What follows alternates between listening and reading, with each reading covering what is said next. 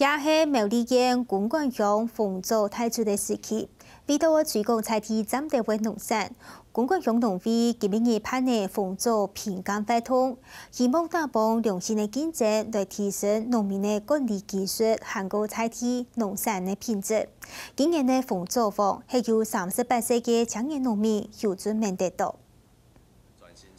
公馆乡系全台湾凤竹青苔产业专区，凤竹总有六十三公顷案发。今年认证天时过热，雨水过少，凤竹路相对个甜，开树果后为丰作有含过熟的。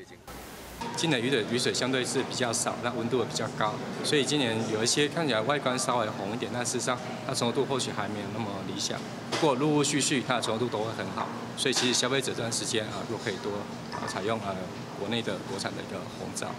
为了提升丰作的品质，促进农民的交流，公馆农会特别办的丰作大电发通，由四十笔的属农会辅导安全用药，莫检出农药残留的农民参加，最里面是三十八岁的邱俊明大头名。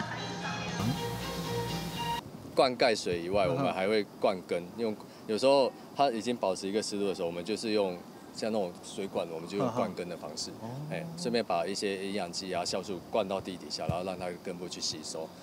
半年前，咱国家香港中嘅邱俊明同阿爸嘅技术，同能够从推广嘅友善港中相结合。虽然管理一般钱会加个粗，品质也会加个好。每认证案呢，以三年得到两百亿丰作王。